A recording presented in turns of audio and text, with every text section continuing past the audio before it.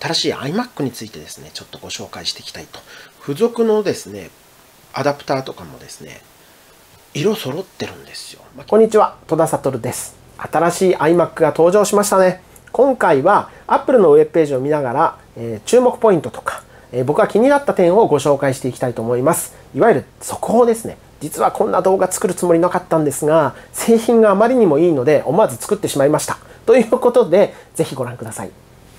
日本時間では4月21日の早朝、まあ、深夜早朝ですね、に発表されたですね、新しい iMac についてですね、ちょっとご紹介していきたいと。で、速報形式で Apple のウェブページを見ながらちょっと僕の気になった点とか注目ポイントを紹介していきたいと思います。この iMac、なんかそもそもの立ち位置に帰ったような気がしていて、これ見ていただければわかるんですけど、全部で7色用意されている、とってもカジュアルな印象の製品になりました。もともと iMac ってカジュアルな感じのデスクトップだったので、えー、すごく僕はいいなという変、いい変化だなというふうに思ってますし、現在日本のデスクトップの中では iMac がダントツに売れていると、単一機種ではですね、OS という話ではなくて、え単一機種では売れているというところで、まあ、こういう色のカラーバリエーション用意できると思うんですが、これ他のメーカーじゃもうここまで用意できないですよね。で、実物見てないので、もちろんわからないんですが、これ当然ですね、アルミ製だというふうに思います。はい。で、アルミのアルマイト処理、いわゆるアルマイト処理、被膜処理によって、このように色をつけてるんだと、もって見てないんでわかんないんですよ。想像してますけれども、これ多分相当色合い出来がいいと思いますし、えー、iPhone のですね、えー、色と、例えばブルーとか合ってると思いますので、まあ、グリーンなんかもそうですけれども、両方セットで使うとですね、まあ、とってもいい感じじゃないかなと思ってます。はい、えー、僕驚いたのはここなんですよ。これ見てください。電源コードとか、ライトニングケーブルとか、付属のですね、アダプターとかもですね、色揃ってるんですよ。まあ、キーボードはもちろん、ま、マウスも下の方は色そうなんですけど、これすごいですよね。さすがアップルここまでやるかという感じなんですが、これにはですね、この色を揃えてるところにはもう本当に感心しました。えー、値段だけで考えていくと、コストだけ重視するとこういうことってできないと思います。はい。えー、とにかく外装に注目していますのと同時に、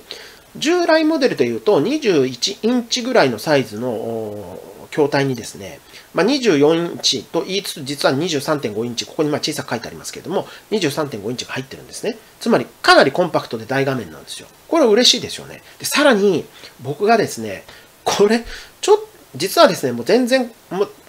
ぶっちゃけ言うと全然買う気なかったんですよ。っていうのは、僕の場合はディスプレイあるので、そこに MacBook Air 繋いで使っちゃうので、いらないなと思ってたんですが、ちょっとですね、心揺さぶられたのがですね、この軽さなんですよ。重量4.46、まあ、機種によって4.48、約4.7キロぐらいですよ。5キロないんですよ。この軽さだったら、家の中とか会社の中であれば、しかもですね、ケーブル1本つなぐだけで、電源1本つなぐだけで、基本はワイヤレスなんでいいわけですから、ちょっと動かして使うとか全然余裕じゃないですか。しかも23.5インチのモデルをですよ。そう考えるとですね、非常にこれなんかモバイルデスクトップみたいな 使い方ができちゃうので、なんかいいんじゃないっていうふうにちょっと急に思っています。で、まあ、このデザインとこの軽快さ、この薄さもすごいですよね。11 m m、えー、11.5 m m ですか？っていう薄さを見るとですね、これですね、もうブティックとかではものすごく使われるお店とかですね、え、ではものすごく使われる製品にデスクトップになると思っています。はい。で、もちろん色注目なんですが、ちょっとページ行き来して申し訳ないんですが、だ注意していただきたいのは、これ色モデルによって選べるのは違うんですよ。一番安いモデルは、えー、このカラーが3色にシルバー。で、えー、その上のモデルが全7色を選べると。あ、ごめんなさい。えー、あ、7色あ、カラーが6色のシルバーってことで7色ですね、えー、を選べるようになっています。はいで。僕が買うならどれって話はちょっと後でしたいと思いますが、はい。ということで、はい、えー、本体カラーのじゃ話をさておいてですね、はい、えー、まずですね、これチップなんですよね。チップはですね、M1 が搭載されてます。これも MacBook とか、あ Mac mini でおなじみですよね。で、これ僕も MacBook Air で使ってますけれども、もう速度全然問題ないです。で、デスクトップもノートも iPad も全部同じ CPU ってこれすごいですよね。これなんか統合を予感させるんですけど、これまあ、えー、iPad の方でもお話したんですけれども、統合を予感させますが、どちらにしろですね、これ性能は文句なしだと思います。で、これノートの CPU をノートと同じ、いわゆるモバイル向けの CPU をデスクトップに入れてると。モバイル向けだから、遅いということでなくて、モバイル向けなのに超高速の CPU をデスクトップに入れたからこれだけ薄くできたわけですよね。えー、ロジックボードっていわゆるマザーボード的なボードもすごくちっちゃく、えー、できています。それが実現して 11.5mm に薄くできたのもこのチップを搭載したからと。で、パフォーマンスも文句なく、えー、動画やある程度ゲームなんかをしてもですね、まあそんなにですね、えー遅く感じないどころか、かなり早いなって感じる方がほとんどだと思います。まあ、プロが 3D のなんか作業をするとか、えー、4K、8K の動画を編集するなんてなってくると、まあ、ちょっともしかすると力不足の点も出てくるかもしれませんが、そもそもこれプロ向きのモデルではないので、もう十分以上の性能だなというふうに僕は思っています。はい。で、まあ、個人的にはちょっと気になるのは、これ、あの、角度調整できるんですけど、高さ調整ができないのがいつも気になっていて、僕なるべくディスプレイ低く使いたいんですよね。見下ろしたいので。そこはちょっとまあ、でもまあ、それは以前からなので、まあ、特に問題は感じてない方が多いと思いますけど、個人的にはそう思ってます。で、コネクタ注目していただきたいんですが、全部タイプ C なんですよ。で、あと電源ですね。電源のコネクタしかないと。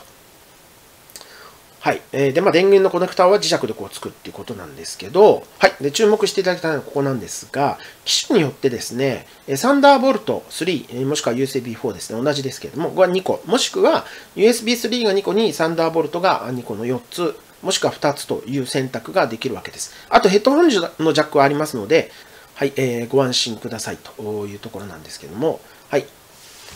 まあこれちょっと実際手にしてないのでわからないんですが、使い勝手がどうかなと思ってまして、ちょっとこれ見ないで挿すのきついですよね。だから裏側見ないといけないんですが、本体軽いので、ま、そんなに苦労はしないかなと思うんですが、結局、まあ多くの方が USB ハブを使って拡張することになると思うんですが、USB のハブ、Type-C のハブですね、非常に値段安くなってきてますし、種類もいっぱい出てきてるので、まあ、困ることはないかなというふうに思いますで。いわゆるノート的に使うのであれば、もう拡張性もほとんどいらないのかなというふうにも思っています。iPhone をつないだりという使い方であれば、この端子だけで十分だと思います。で、ちょっと個人的な興味で試してみたいのは、これ iPhone に充電したら、どのぐらいの、まあ、出力で充電できるのかなというのがちょ、ちょっと個人的に面白いなと思って、えー、実物を手にしたら試してみたいなと思っています。はい。えー、で、ちょっとディスプレイにも注目していただきたいんですが、実質23.5インチのディスプレイなんですけれども、ここに 4.5K と出てますけれども、これどういうことって話なんですが、4K ディスプレイよりも、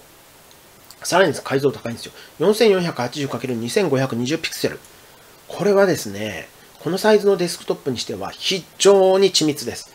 で、500ニットってかなり明るいです。普通はデスクトップの、え、ディスプレイって、まあ、一般的なディスプレイはもう250とか300、300ちょっとぐらいなので、非常に明るい。さらに超緻密です。非常にこのディスプレイには僕はもう注目してますが、写真とかがですね、むちゃくちゃ綺麗に表示できるんじゃないかなというふうに思っています。はい。はい。で、えっ、ー、と、カメラがですね、これはですね、え、 FaceTime カメラ、あの、いわゆるインカメラですね、自分を映すカメラが、えー、解像度が高くなって、まあ、要するにテレビ会議向きになりましたよっていう話ですね。よりテレビ会議向きになりましたよっていう話ですね。で、マイクとスピーカーも良くなったということなので、これはですね、ちょっと実機をですね、えチェックして、またご報告したいと思っています。はい。で、えー、注目したいのが、はい、このキーボードなんですけれども、指紋センサーつきました、ここに。拍手ですね。やっぱり指紋センサーいいですよね。で、指紋センサーが新しくついたこのワイヤレスのキーボード、マジックキーボードに指紋センサーがついたというところで、これも注目なんですが、ただこれもですね、ちょっと注意していただきたいんですけど、はい、ここを見てください。一番下のモデルはマジックキーボードなんですよ。真ん中以上がタッチ ID、つまり指紋センサー付きなんですね。えー、いわゆる AC アダプターですね。そこに LAN の端子が付いてるんですよ。真ん中以上は。下は付いてないんですね。で、まあ、ちょっと結論というかですね、どれ買うのって話なんですが、僕が買うならというか皆さんへのおすすめそうなんですけど、まあこれ真ん中のモデルですよね。価格差は2万円ちょっとありますが、まず M1 チップも GPU が強いですよね。えコア数が1個多い。これ多分ね、体感上あんまりわかんないと思いますが、2年3年使い続けた時には差が出てくるかもしれません。で、さらに色が選べますよね。真ん中のモデルから。で、さらにタッチ ID 付きのキーボード、ワイヤレスのキーボードになると。で、有線 LAN 端子もあると。で、コネクターも増えると。これ、もろもろ考えると、この2万円ちょっとの価格差だったら、迷わずこれ税込みですしね、このモデルを選ぶべきだなというふうに僕は思っています。で、まあ、あとはですね、カスタマイズでストレージ等々を変更していけば良いのかなと。で、まあ、ビデオ編集とかやる方とかヘビーに使う方は、まあ、メモリーを16にする。もまあ、ストレージは皆さんの容量に合わせて選んでいただければと思いますが、まあ、そんなカスタマイズをしていくだけで良いかなと。まあ、色、皆さん悩んでください。もう素敵です。どの色もとっても素敵ですね。えー、色悩んでください。で、下は色悩めない。色が少ないんでね。ということで、僕はもう確実にこのモデルをお勧め、買うならしたいと思います。で、正直僕全然 iMac 買う予定なかったんですけど、今かなり迷ってます。どうしようかなって。まあ予算の都合もありますけれどもね。ということで、まあ非常にですね、魅力的なデスクトップが登場し、この軽さが僕は一番すごいなと思っています。以上、新しい iMac の注目ポイントを速報でお届けしました。製品レビューもご期待ください。チャンネル登録もよろしくお願いします。